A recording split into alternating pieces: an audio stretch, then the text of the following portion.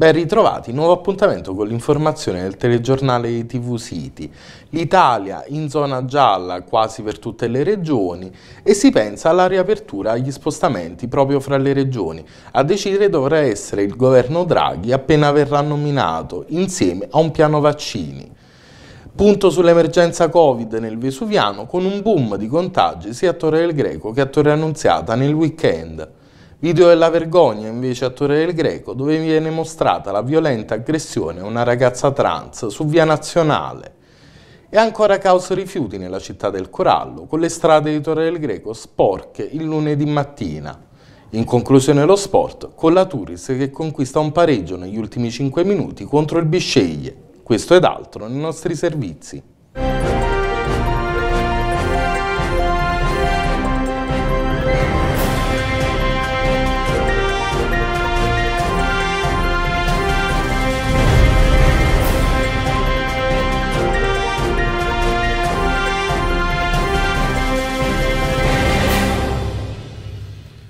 Passato il primo weekend in giallo, con folle in città e sulle spiagge, mentre l'epidemia appare stabile su numeri ancora alti, ci si avvia ad un'altra scadenza importante, la fine del divieto di spostamento tra regioni, anche gialle, il 15 febbraio, mentre l'ultimo DPCM, firmato dal premier uscente Giuseppe Conte, scadrà il 5 marzo. Bisognerà vedere cosa deciderà il nuovo esecutivo guidato da Draghi, che secondo alcune previsioni potrebbe giurare prima di venerdì, proprio nel giorno del monitoraggio settimanale della cabina di regia e delle eventuali ordinanze del Ministro della Salute.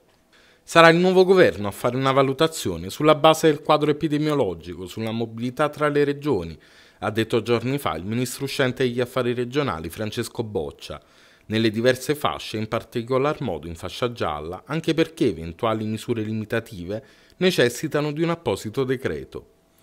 La fine del divieto di spostamento tra regioni viene invocata, tra gli altri, dai gestori di impianti sciistici, la cui riapertura, ma solo nelle zone gialle, è stata già avallata dal Comitato Tecnico Scientifico e prevista proprio per il 15 febbraio. Ma sono altre le sfide che attendono l'ex numero uno della Banca Centrale Europea nel suo ruolo di Presidente del Consiglio. La minaccia costituita dalle mutazioni, anche quella sudafricana e quella brasiliana, si intreccia alla campagna vaccinale, che ha accumulato circa tre settimane di ritardo a causa dei pesanti tagli delle aziende alle forniture di dosi. Il siero di AstraZeneca è arrivato invece con due giorni di anticipo e le 250.000 fiale del primo incarico saranno somministrate da martedì agli under 55 in buona salute, a partire da insegnanti e membri delle forze dell'ordine. Contestualmente si procederà a completare la vaccinazione di sanitari e ospiti dell'RSA e si procederà con quella degli ultraottantenni. Queste ultime categorie hanno avuto destinati i vaccini Pfizer e Moderna, per un totale di oltre 2,5 milioni di dosi somministrate finora e oltre 1 milione,1 di italiani che hanno ricevuto anche il richiamo e sono quindi davvero vaccinati. L'obiettivo è immunizzare 4 milioni e mezzo di persone entro fine aprile. A marzo si prevede che l'Agenzia europea del farmaco dia via libera al vaccino della statunitense Johnson Johnson, monodose, quindi più facile da conservare e da somministrare. L'Italia ne aveva opzionate inizialmente decine di milioni di dosi, ma viste le brutte sorprese delle ultime settimane da parte di altre aziende, sembra ormai chiaro che la vera campagna di vaccinazione di massa difficilmente inizierà prima di marzo completare la campagna vaccinale è tra gli obiettivi indicati da Draghi nel suo finora unico e breve discorso al Quirinale.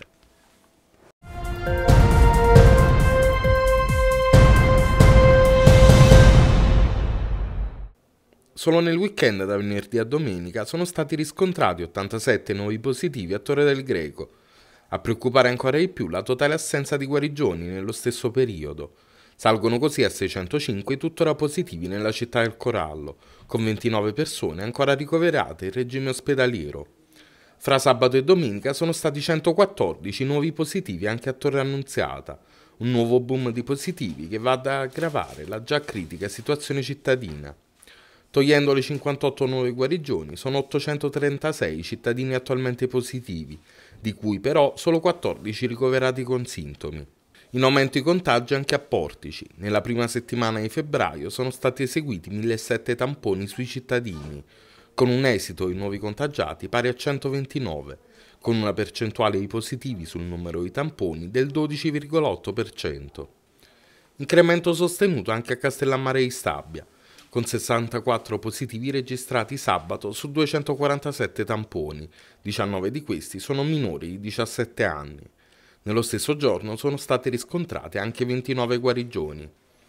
Meno preoccupante la situazione a San Giorgio a Cremano. In una diretta di venerdì il sindaco Zinno aveva confermato che i positivi totali in città fossero solo 173. Nell'intera settimana erano stati registrati solo 9 nuovi contagi. 19 invece i positivi registrati nello stesso arco di tempo ercolano, che tuttavia raggiunge quota 417 cittadini positivi.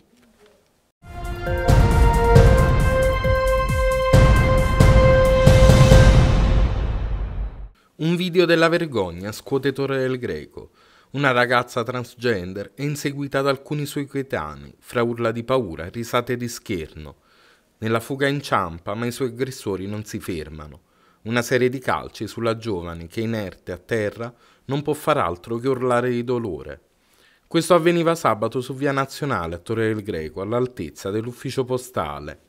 Triste che la scena sia stata ripresa da qualcuno, non è chiaro se un passante o un complice degli aggressori che nulla ha fatto per evitare l'episodio di violenza. Grave che lo stesso video sia stato postato sui social. Ironico che tutto ciò sia stato fatto nel giorno dedicato alla lotta al bullismo e al cyberbullismo. Un'insensata violenza scaturita solo dall'ingiustificato odio, dalla più ignorante omofobia, picchiata perché è nata donna nel corpo di un uomo, attaccata per il suo orientamento sessuale. Il video ha fatto inevitabilmente il giro del web. A condividerlo il consigliere regionale Francesco Emilio Borrelli per denunciare l'accaduto. Tante le manifestazioni di supporto alla giovane da parte dell'amministrazione comunale. Il sindaco Palumba promette seguirò in prima persona con le competenti autorità gli sviluppi della questione e denuncia la violenza, sia fisica che verbale, rappresenta il più basso istinto comportamentale per una comunità che, invece, vuole definirsi progredita e civile.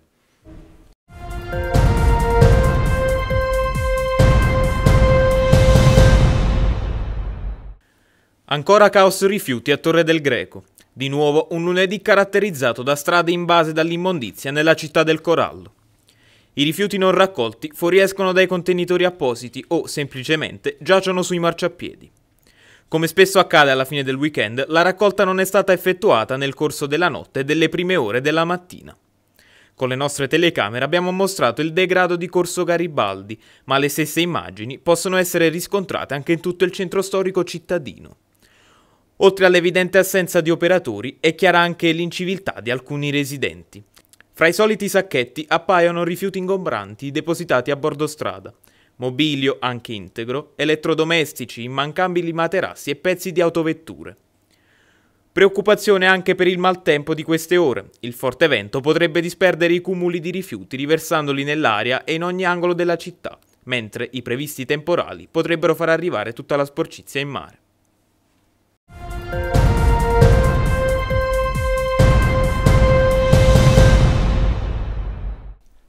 All'inferno il ritorno. La Turris risorge a un passo dal quarto KO consecutivo e riacciuffa in extremis il pareggio contro il Bisceglie. La squadra di mister Fabiano si schiera col neoacquisto Ventola in avanti, che impegna da subito il portiere ospite, seguito poi da una conclusione di Giannone. Ma alla prima occasione i pugliesi passano, da calcio d'angolo è Alto Bello a svettare su tutti e insaccare per il vantaggio nerazzurro alla mezz'ora.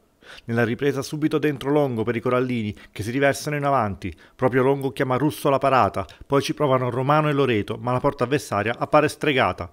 Alla mezz'ora il Bisceglie, come nel primo tempo, la prima vera opportunità, trova il rigore per fallo di mano di Dinunzio, che Cittadino trasforma portando i suoi sul 2-0. Sembra ormai finita, ma a 5 minuti dal termine Giannone, da fuori, trova la rete che scuote i Corallini. In pieno recupero, lancio lungo di Franco, la palla arriva a Persano che supera il portiere in uscita e infine in rete per il clamoroso pareggio che fa esplodere la panchina della Turris. Un punto che finalmente muove la classifica e ridà nuova linfa alla squadra dopo un periodo avaro di soddisfazioni. La trasferta di Monopoli in quello che è un altro scontro salvezza dirà se la Turis è uscita dal tunnel.